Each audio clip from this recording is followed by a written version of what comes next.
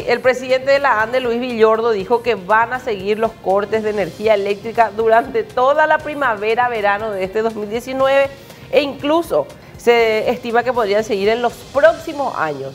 Mira qué linda noticia para esta hora de la mañana. Justificó que es porque recién en el mes de julio de este año se ejecutaron los contratos para la adecuación de las redes eléctricas.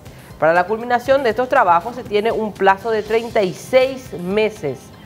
Las obras incluyen cambios de la línea de media y baja tensión e instalación de nuevos puestos de distribución, además de nuevos transformadores. Las altas temperaturas registradas en los últimos días elevaron los picos de consumo de energía y provocaron numerosos cortes eléctricos a miles de usuarios en varios puntos de Asunción y Central.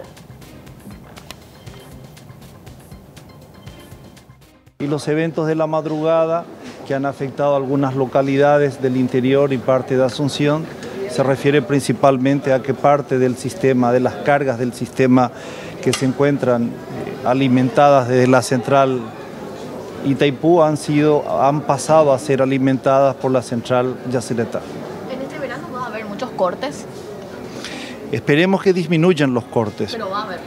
Ciertamente habrá cortes. El principal problema de los cortes es que los trabajos realmente están, han comenzado a ejecutarse muy recientemente.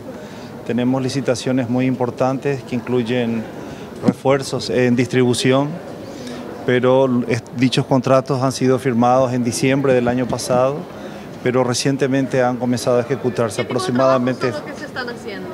Los principales trabajos son cambios de las líneas de media tensión, cambios de las líneas de baja tensión y la instalación de nuevos puestos de distribución, nuevos transformadores. ¿Eso para cuándo podría dar una solución para que no exista más cortes de energía? Bueno, los cortes de energía siempre se van a dar considerando que el sistema nuestro es un sistema aéreo, van a mermar muchísimo considerando que son líneas protegidas actualmente, pero los contratos de ejecución que se encuentran implementando las mejores en el área de distribución son contratos que tienen un plazo de, de ejecución de 24 meses a 36 meses.